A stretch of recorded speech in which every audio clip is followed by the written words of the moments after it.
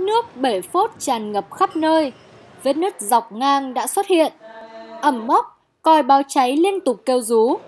Tất cả khiến cho cư dân CT1, A1 và A2 khu đô thị mới Tây Nam Hồ Linh Đàm vô cùng lo lắng cho tính mạng cũng như sức khỏe của người thân trong gia đình. Cụm công trình nhà ở xã hội CT1, A1 và A2 được xây dựng trên lô đất CT1 có diện tích là 4.659,6 m2. Diện tích xây dựng là 1.018 m2, gồm hai khối cao tầng, A1 cao 15 tầng và A2 cao 12 tầng. Tổng số có 217 căn hộ. Các căn hộ có diện tích từ 32,5 đến 51,3 m2. Dự án nhà ở xã hội cho người có thu nhập thấp tại khu đô thị mới Tây Nam Hồ Linh Đàm do Công ty Cổ phần Phát triển Nhà xã hội HUD.vn thực hiện. Mặc dù dự án mới chỉ được bàn giao hơn một năm, nhưng hiện nay đã lộ rõ nhiều bất cập tại đây. Theo phản ánh của cư dân, liên tục nhiều ngày qua, nước bể phốt của tòa nhà tràn ngập khắp nơi, không được xử lý. Lượng nước này chảy trực tiếp ra đường thoát nước chung của thành phố, khiến cho ai di chuyển qua khu vực này cũng phải cau mày, bịt mũi. Phản ánh với chúng tôi, cư dân ở đây cho biết do mùi hôi thối bốc lên từ đây nên cư dân không dám cho trẻ nhỏ xuống sân chơi chung. Nhiều cháu bé sau khi chơi ở đây về cũng bị ốm. Ba lần bị như trường hợp này rồi, một lần là đúng một tháng, dân kêu vô cùng là khổ, các cháu mới sinh rồi đó các người có tuổi. Thế bây giờ như thế chả hiểu làm sao mà môi trường là quan trọng nhất. Yêu cầu các chủ đầu tư giải quyết môi trường này cho bà con nhất là các cháu ốm đau hết mà tuổi già thôi. Rất sợ cái cái mùi này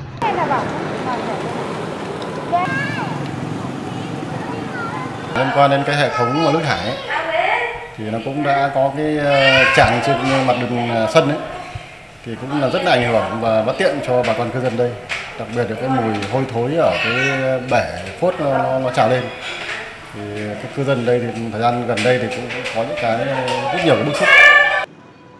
Tiếp tục tìm hiểu về chất lượng công trình, chúng tôi ghi nhận được hàng loạt hạng mục đang có dấu hiệu xuống cấp ở đây. Nhiều điểm tường đã bị nứt dọc, kéo dài thêm vào đó là những vết nứt ngang chẳng chịt, khiến cho mỗi lần có mưa là nước theo đó ngấm vào các căn hộ. Từ đó nước thấm đọng lại lâu ngày ở tường, khiến cho rêu mốc có cơ hội phát triển khắp các căn hộ, khiến cho dịch bệnh có nguy cơ bùng phát ở đây. Trong quá trình ờ, mà sử dụng ấy, thì đặc biệt là cái phần mà thấm đổ. Thì cụ thể như nhà tôi thì nó liên quan đến cái nhà vệ sinh ở bên cạnh, ờ, thấm sang nhà mình. Rồi là ở ngoài là mưa thì là thấm vào trong nhà qua tường qua các vị trí cửa sổ. Trong cái quá trình mà thi công xây dựng thì là, là nó không đảm bảo được các yêu cầu về chống thấm.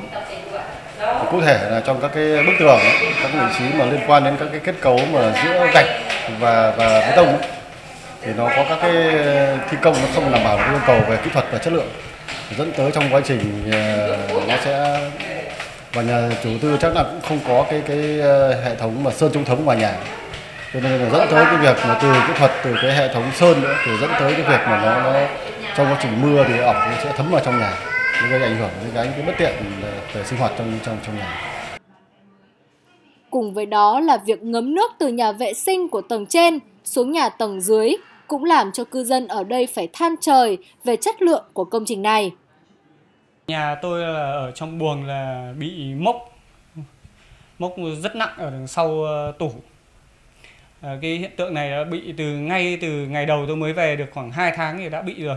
Chủ tư lên đây rất nhiều lần và cứ hứa hẹn từ hơn năm nay vẫn chưa thấy sửa. Chính vì thế ở trong nhà rất nhiều mũi và rán. Nên tôi, tôi rất lo ngại cho tình trạng sức khỏe các cháu. Cùng với sự xuống cấp của các hạng mục công trình thì còi báo cháy và thang máy cũng làm cho cư dân ở đây vô cùng bất an. Liên tục kêu rú trong khi không có sự cố xảy ra.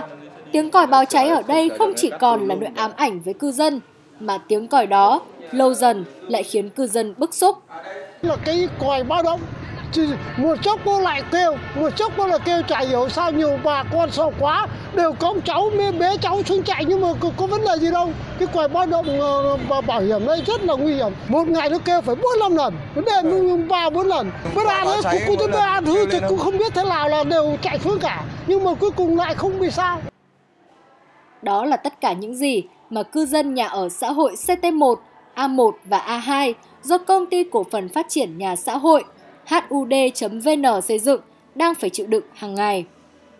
Mục tiêu xây dựng nhà ở xã hội là để đảm bảo an sinh xã hội, chăm lo phát triển nhà ở cho nhân dân, cũng như thực hiện chiến lược phát triển nhà ở quốc gia.